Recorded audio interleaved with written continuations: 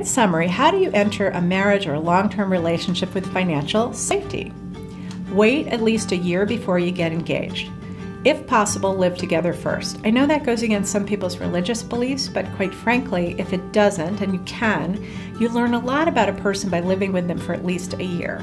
Nobody can fake things for an entire year. They can fake things for a few months, and if you're not seeing them all the time, they can fake their personality. But once you're really living together, you're really going to get to know that person. You're going to see how you do day to day, and it's a much safer way to enter into something as important and serious as marriage from a legal and financial point of view. Never mind your heart.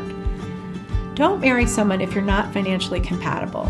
I know that's a little bit harsh, but really think about it. 60% of divorces are caused by financial problems. So if any of the red flags came up, or if you really are not financially compatible, I hate to tell you this, your marriage is probably not going to make it. So just move on and find a partner where you have a better blend of styles and where you don't have any red flags.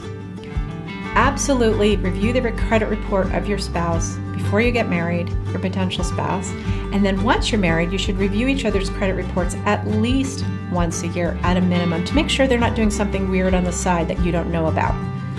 Have a prenuptial agreement, that's really critical and really listen to your family. Your family has your best interests at heart. They're not trying to, you know, destroy your life and not love your potential spouse. They're trying to protect you. They've known you since you're a baby. They know you well, and so at least listen to what they have to say.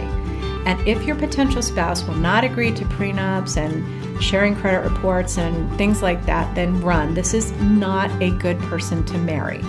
If you follow these rules, you have a much better chance of having a happy future and you will definitely thank me.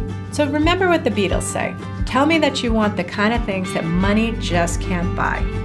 I don't care too much for money. Money cannot buy me love.